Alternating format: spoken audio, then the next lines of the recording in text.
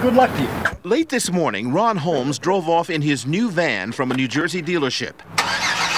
After driving 250 miles yesterday from his home in Maryland, he was afraid he had missed out on trading in his clunker, a 1995 Chevy. But it all worked out. So how much of a discount are you going to get?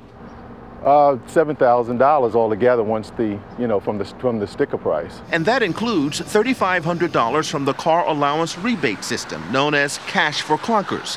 Its success was a major surprise. And we sold nine cars since the program started. That's within a week. The billion dollar program, launched nine days ago, was supposed to last until November.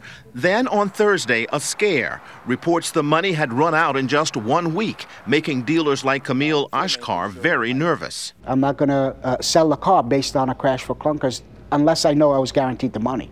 There's no way that the dealership can have 3,500 to 4,500 loss on a sale. The White House guarantees the program at least through the weekend, so Ashkar is continuing to provide the clunker discount.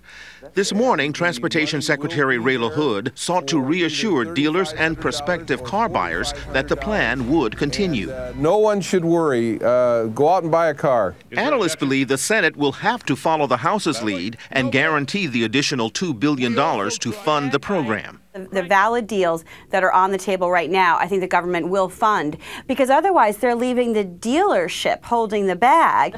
While dealers like the program, they don't like the 136 page rule book and a constantly crashing website that dealers must use to register clunkers and get the government reimbursement.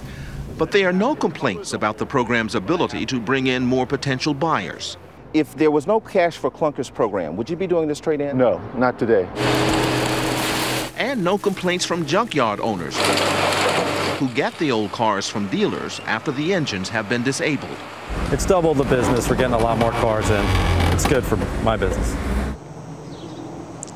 Now, if the first billion dollars has been spent in less than a week or two weeks, that could mean that the additional two billion could be gone long before the program is expected to expire in November. Jeff? All right, Randall Pinkston in New Jersey tonight. Randall, thank you.